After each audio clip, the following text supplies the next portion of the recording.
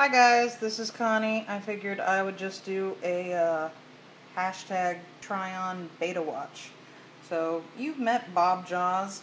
I moved him to a different part of the kitchen and he still wants to be aggressive. I don't think he's handling it very well.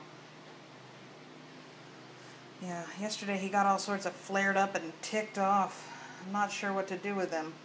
If you have any suggestions besides moving him to another room, let me know. Be careful with that and enjoy. Please and thank you. Bob Jaws. Quit making him blurry. Oh, nothing but the tail.